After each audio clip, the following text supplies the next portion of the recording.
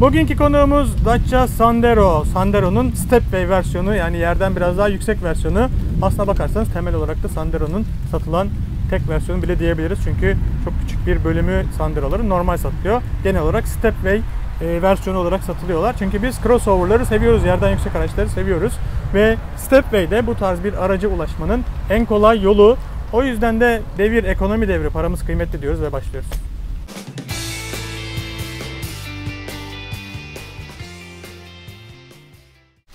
Stepway diğer versiyonlardan çok daha farklı bir araç. Hem gövde eklentileri var hem de gördüğünüz gibi havalı egzoz ucu gibi eklentileri var. Bu yüzden de kendini farklı hissettirebiliyor. Bunun dışında Sandero da çok iyi özelliklere sahip küçük sınıf ortalamasında.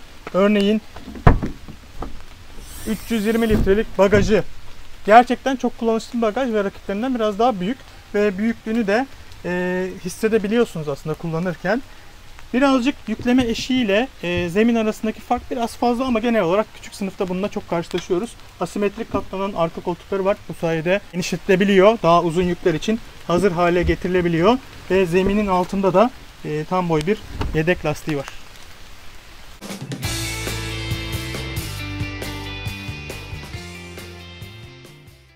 Sandero'nun boyutları küçük sınıf ortalamalarında o yüzden de arka koltuğunda sunduğu alanda bu ortalamalara uygun. Gördüğünüz gibi diz mesafesi ya da baş mesafesi konusunda önemli bir eksikliği yok.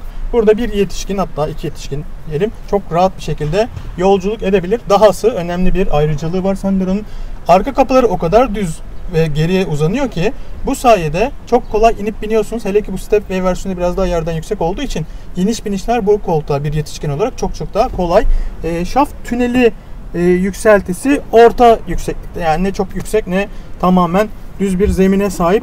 E, bu bölüme geçtiğinizde de gayet iyi bir alan var. E, sizin için ayaklarınızı koltukların altına sokabiliyorsunuz çünkü. Ama muhtemelen 3 yetişkin burada omuzlarını sığdırıp da yolculuk edemez. E, sonuçta baktığınızda buradaki alan sunumu gayet iyi.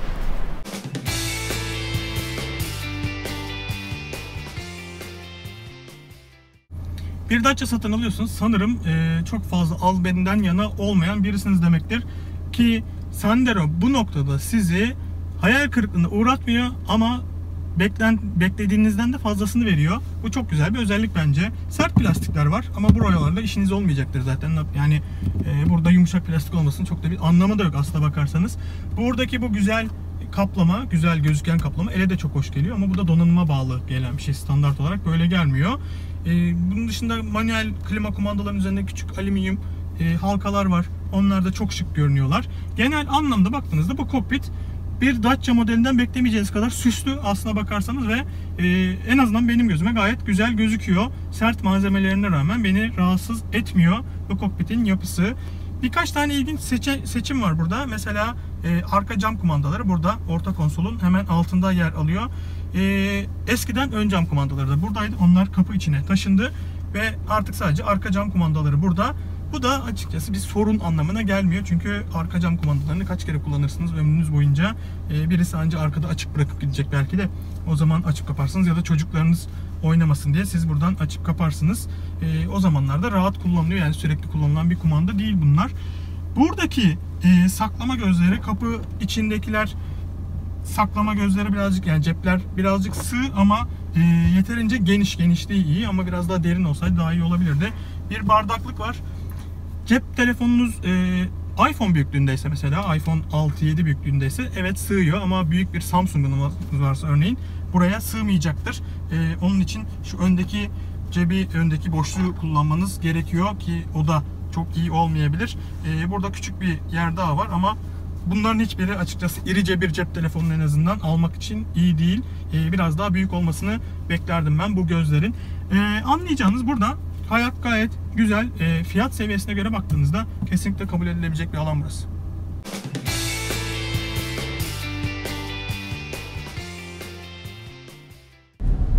Şimdi Sandero Stepway'in direksiyondayız. İçinde bulunduğum versiyon 90 beygir güç ve 220 Nm tork üreten 1.5 litrelik DCI dizel motora sahip ve ona eşlik eden de Easy 6R isimli otomatikleştirilmiş manuel şanzıman. Otomatikleştirilmiş manuel şanzıman kavramına e, aşina olmayanlar için Bu şanzımanlar e, eskiden robotize olarak anılırlardı ve çift kavrulma şanzımanlar da aslında bakarsanız otomatikleştirilmiş. Manuel şanzıman e, bir normal bir manuel şanzıman düşünün ve e, vites seçim ve debriyaj pedalının yaptığı işleri sizin yerinize elektro hidrolik kollar yapıyor. E, yani robotize derlerdi eskiden dediğim gibi ve bu çok güzel bir isim aslına bakarsanız iki tane robot var sizin için debriyaja basıp vites seçimini yapıyor anlayacağınız. Ee, bu da işte sizi sol ayak derdinden kurtarıyor sıkışık trafikte. Şu anda içinde gittiğim gibi sıkışık trafikte. Bu tarz şanzımanlarda dikkat etmeniz gereken şeyler var. Tıpkı manuel şanzımanlardaki gibi e, bu şanzımanın yarım debriyajda kalmamasına özen göstermeniz gerekiyor. Mesela şu anda benim içinde bulunduğum gibi bir trafik sıkışıklığında giderken örneğin manuele alıp şanzımanı gereksiz vites değişimlerinden koruyabilirsiniz. Ee, arada siz vites değiştirirsiniz ama bu şanzıman ekonomi odaklı olduğu için devamlı e, hız arttıkça vites yükseltme eğilimindedir. Onu engelleyebilirsiniz. Bu da sizi bu şanzımanların diğer bir e, problemli noktasında korur. E, nedir bu? Vites değiştirirken birazcık sarsılır bu şanzımanlar. Çünkü çift kavramalı şanzımanlar gibi bir sonraki vitesi hali hazırda hazır tutmaz. Yani siz daha seçmeden öbür vites seçili değildir. Ee, onu yapacak bir kavrama yoktur. Bu yüzden de bir sonraki vites zamanı geldiğinde seçilmek zorundadır. Yani debriyaj e, baskı baltayı ayırır ve öbür vites seçilir. Sonra tekrar kavrama sağlanır. Siz yolunuza devam edersiniz ve bu sırada da siz e, bunun farkında değilseniz eğer birazcık sarsılırsınız. Şu anda bu şanzımanlar çok hızlı, hızlı çalışıyorlar e, zamanla göre. Bu şanzıman da bence oldukça iyi çalışıyor bu yapıda bir şanzıman için. E, ama bunu yap bundan da bunu daha az hissetmenin de bir yolu var. E, zamanla alışıp bunu zaten olağan bir şekilde yapabilirsiniz. Çok zor gibi gelecek şimdi kulağa ama e, vites değişimleri sırasında gaz pedalındaki baskıyı birazcık olsun azaltırsanız eğer e, bu sarsıntıdan da kurtulmuş olursunuz. En azından azaltmış olursunuz bu sarsıntıyı. Çok azıcık bir gaz pedalından ayağınızı kaldırmanız gerekiyor anlayacağınız. Ee, şanzıman dediğim gibi güzel çalışıyor bu tarz bir şanzıman için. E, herhangi bir gecikmesi yok. Doğru seçimler yapıyor. Bazen kafası karışabilir. Kafası karışabilir değil daha doğrusu. Sizin ne yapacağınızı bilmediğiniz için e, yanlış tercihler yapabilir. Onu da engellemenin yolu her zaman o manuel seçimleri kullanmak. Örneğin en sık rastlanan şeydir. E, yeraltı garajlarından çıkıştaki yüksek rampalarda e, şanzıman oraya kadar 2 ile gelir ve oraya çıkacağınızı bilmediği için de oraya da 2 ile başlar ve orayı 2 ile çıkamaz. Tam o yokuşun ortasında kalır. E, çünkü 2 ile çıkamaz. Yani manuel şanzımanlı bir aracınız olsaydı o da 2 ile çıkamayacaktı. E, orada kalacaktınız. Ama işte otomatik şanzıman kullandığınız için, otomatik şanzıman diye satıldığı için bu tarz şanzımanlar e, onun uygun vites seçeceğini düşünür kullanıcı ama seçemez. Nereden bilsin şanzıman? Sizin o anda o kadar dik bir rampaya çıkacağınızı. O yüzden oraya gelmeden önce hemen manuel açıp birinci vitesi seçip onunla yokuşa başlarsanız sorunsuz bir şekilde e, yokuşu tamamlamış olursunuz ve bu aynı zamanda baskı balta setini de koruyacaktır. Bu tarz ufak tefek önlemler. E, 1.5 litrelik motor için çok fazla bir şey söylemeyeceğim. Belki daha önceki videolarımı izlemişsinizdir. Bu motor hacim sınıfının en iyi motorlarından bir tanesi tartışmasız ve e, Mercedes modellerinde, Dacia modellerinde, Nissan modellerinde e, ve Renault modellerinde kendine kullanım buluyor. Oldukça iyi bir motor, çekiş gücü yüksek, dayanıklı, tüketimi düşük. Ne kadar düşük peki? Uzun yolda sabit hızlı sürüşlerde 100 km'de 5 litre civarında gezebiliyorsunuz çok rahat bir şekilde. Ee, şehir içerisinde de 6 litreyle yine çok rahat bir şekilde gezebiliyorsunuz. Ee, aslına bakarsanız ne yaparsanız yapın 6.6 litre 100 km 6.6 litre civarlarından da yukarıya çıkmıyor. Performans açısından çok bir öyle e, çekici durumu yok ama kesinlikle sıkıcı da değil. E, 220 Nm tork zaten her şeyi değiştiriyor. E, sürüşe geçecek olursak Sandero'da diğer e, Dacia modelleri gibi elektrohidrolik ya da elektromekanik bir direksiyon yerine eski tip hidrolik direksiyon kullanılıyor.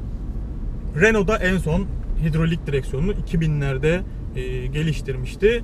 O yüzden de anlayacağınız çok modern hisler sunmuyor bu direksiyon sistemi. Ee, yüksek hızlarda yeterince sert olabilsin diye düşük hızlarda da sert seçilmiş direksiyon ve e, park manevraları için birazcık ağır kalıyor. Biraz boğuşmanız lazım. Yani benim için bile zorlayıcı bu e, direksiyon. eğer ki hafif bir direksiyon isteğindeyseniz öyle bir ihtiyacınız varsa bunu mutlaka göz önüne bulundurun. Buna alışmanız gerekiyor. Bunun bu direksiyonun ağırlığına.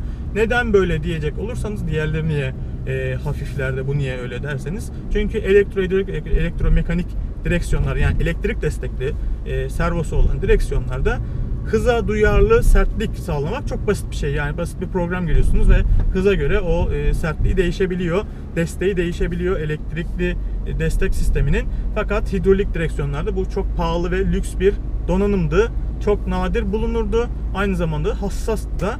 O yüzden de dediğim gibi kullanılmazdı çok e, yaygın olarak.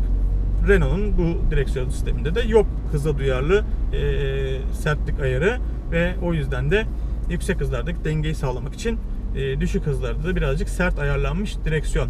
E, sürüş özellikleri, genel sürüş özellikleri oldukça iyi bu. Otomobilin normal e, Sandero'dan diyorum ama normal Sandero diye bir şey aslında sadece kağıt üzerinde var. Yani sadece baz versiyon için baz motor ve baz versiyonda sunulan bir e, seçenekten ibaret. Geri kalan bütün motor seçenekleri yani 0.9 litrelik e, turbo beslemeli motor ve bu 1.5 litrelik dizel motor sadece Stepway donanımıyla satılıyor. Bu versiyonda yerden e, 4 santimetre daha yüksek ve e, bu da beraberinde biraz da sert ayarlanmış süspansiyon sistemi getiriyor. Neden? Çünkü yerden yüksek bir aracın e, ağırlık merkezi yükseldiği için yerden savrulmasını engellemek için e, biraz daha sert bir e, ayar yapmak zorundasınız. Ama darbe yemişinde özel bir sorun yok. Gayet başarılı hatta. Sessiz çalışıyor. Süspansiyon sistemi e, darbeleri çoğunu e, tamamen sönümlüyor ve hiçbir şekilde rahatsızlık vermiyor size.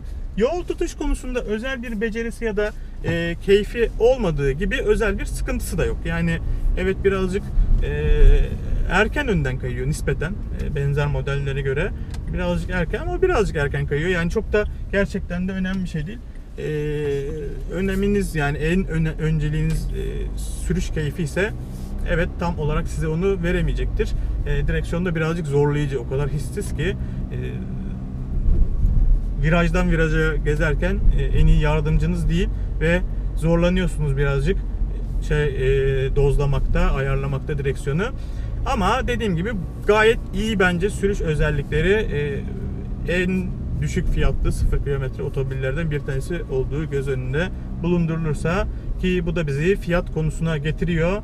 Fiyat konusunda Sandero'nun başlangıç fiyatı 50 bin liranın altında olan nadir 0 kilometre otomobillerden bir tanesi olmasını sağlıyor. 45.500 lira 17 Temmuz itibariyle ve bu versiyonda 66 bin liralık fiyatıyla piyasadaki en uygun fiyatlı dizel motorlu otomatik şanzımanlı e, otomobillerden bir tanesi. Eğer düşük tüketim ve sol ayak özgürlüğü istiyorsanız en uygun fiyatlı 0 kilometre seçeneklerinizden bir tanesi dediğim gibi. Şu anda içinde bulunduğum aracı fiyatı 70 bin liranın birazcık üzerine çıkıyor. Ee, kulağınıza yüksek gelebilir ama dediğim gibi işte dizel motor ve otomatik şanzıman böyle arz talep meselesi birazcık bunlar. Ee, talep çok arzda o yüzden yüksek fiyatlı geliyor. Ee, başka bir konu sessizlik konusu önemli. Ee, birazcık tereddüt yaratabilir sizde. Genel olarak sessizliği iyi. Otoyol hızlarına çıkmaya başladığınızda 100 km saat hıza yaklaştığınızda e, birazcık rüzgar sesi biraz değil aslında bayağı hissedilir hale geliyor. Rüzgar sesi ama o da e, önceki nesil Sandero'da olduğu gibi mesela ya da işte makyaj öncesi Duster'da olduğu gibi e, iki kişinin konuşmasını engelleyecek kıvamda değil. Gayet e, rahat bir şekilde konuşabiliyorsunuz. O konuda da bir sıkıntısı yok. Aslında bakarsanız bu da kabul edilebilir sınırlar içerisinde. Sonuca bağlayacak olursak bence Dacia'nın e, en önemli tereddüt unsuru bir Dacia satın almadaki en önemli tereddüt unsuru güvenlik konusu. Çünkü e, evet hava yastıklarının eksikliği konusunda yapacak bir şey yok. Bu otoritenin sağlamadığı bir imkan bizlere. E, otorite kimseye baskı kurmuyor. 6 tane hava yastığı olsun, her araçta 7 tane hava yastığı olsun. E, bu insanlar kazalarda korunabilsinler diye baskı kurmuyor ve üreticiler de maliyetten kısmak için e, bu alanlarda bazı eksik sunumlar yapabiliyorlar. Bunu kabul ediyorum tamam. Ama mesela kapı kolları. Bu e, araçta kullanılan kapı kolları kazada, olası bir kazada kapının dışarıdan açılmasını zorlaştıracak yapıda. Yani e, yeterli mukavemeti göstermeyebilirler, kırılabilirler, elinizde kalabilirler. Bu yüzden de e, önemli. Yani sadece o ilk kapıyı açma anındaki kalitesiyle ilgili değil. Dahası zaten diğer Renault modellerindeki kapı kolu kullanılsaydı bu da düşük maliyetli olurdu muhtemelen. Çok bir önemi olacağını zannetmiyorum. E, bu tarz önlemler dışında herhangi bir sorunu yok. Onlara e, bir şekilde göz ardı etmeniz gerekiyor. E, Dacia satın alırken ki böylece o yeni araç kokusunu içinize çekebilirsiniz. Kendi aracınızı ilk defa kullanma şansını elde edebilirsiniz.